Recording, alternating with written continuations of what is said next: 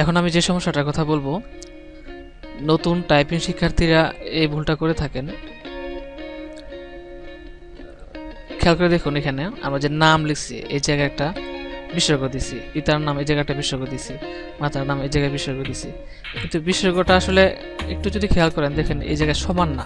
এইটা একটু, এইটা সোজা, এইটা একটু এই পাশে, এইটা এই পাশে, এইটা এইদিকে এইটা এইদিকে এইটা এইদিকে এইটা সমান না। এর কারণ হচ্ছে এটা লেখা হয়েছে স্পেস দিয়ে শুধু, স্পেস দিয়ে দিয়ে।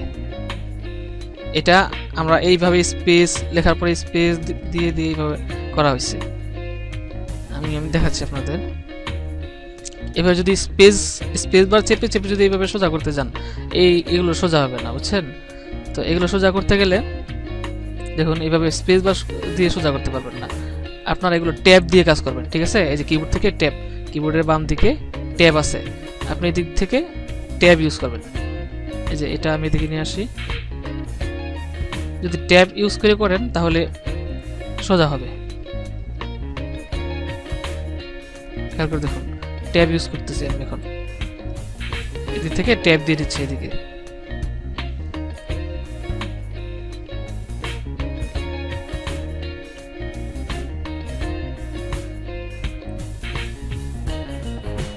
এবার খেয়াল করে দেখুন, প্রত্যেকটা সোজা, ঠিক আছে?